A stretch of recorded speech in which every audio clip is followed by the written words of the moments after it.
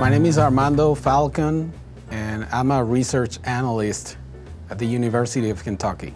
We were uh, scouting for corn earworms in the, in the hemp fields, and then we noticed these uh, buzzing sounds around, around the, the larvae, and then we paid more attention, and then uh, we saw these flies trying, attempting to lay eggs on the caterpillars.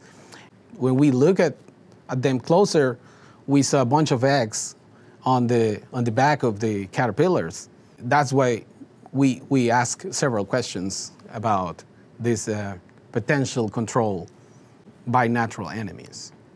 We are looking at the interactions between the corn earworms attacking the hemp and then uh, a natural enemy that we uh, just discovered that was a specific tachinid that is uh, parasitizing the corn earworm larvae.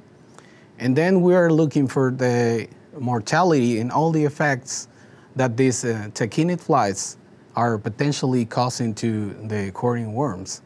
Half of these uh, worms are being attacked by these tachinid flies. So of that number attacked by the flies, about half of those individuals will potentially die.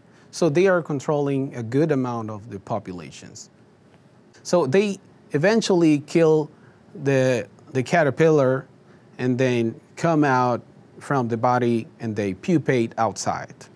So uh, after uh, a week or two, we hopefully have the adult fly uh, and then the, this cycle will go on and on.